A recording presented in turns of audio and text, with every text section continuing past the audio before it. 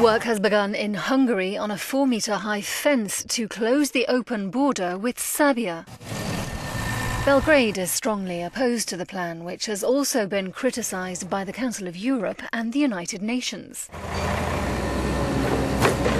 Stretching for 175 kilometres, the fence is designed to stem the influx of illegal immigrants coming up through the Balkans in the south and heading for the EU.